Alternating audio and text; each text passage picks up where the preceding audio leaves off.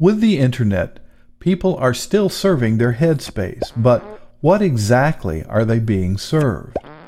Not all that long ago, Steve Jobs famously suggested that no one reads anymore. Well, maybe not, but everyone's blogging as if someone is.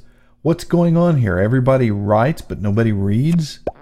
Recently, I tracked comments to an insightful article on demographics.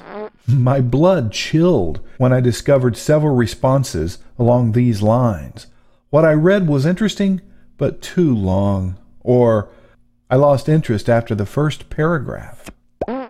Maybe I'm overreacting, but this could be a sign of a problem.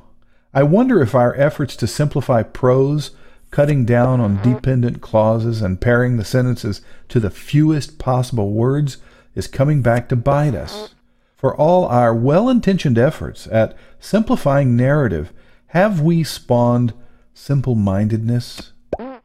As we endeavor to understand the new narrative venues for the Internet, there are a few questions someone should ask. Is the transmission of ideas that pass there truly free? Is the transmission worthy and sustainable? Does it seek to objectify its transmission? Does it promote summary or thesis? Is it worthy of the broad traditions in language and scholarship?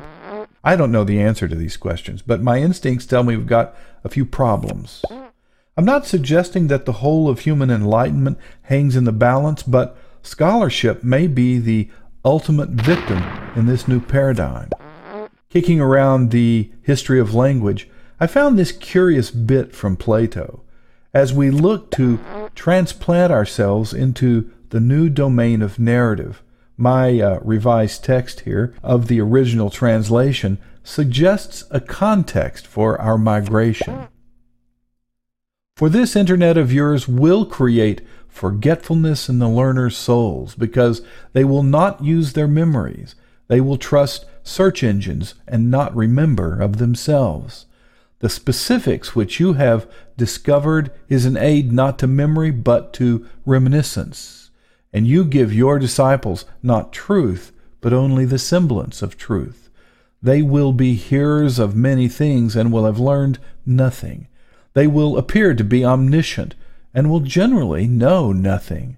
They will be tiresome company, having the show of wisdom without the reality. From Phaedrus by Plato.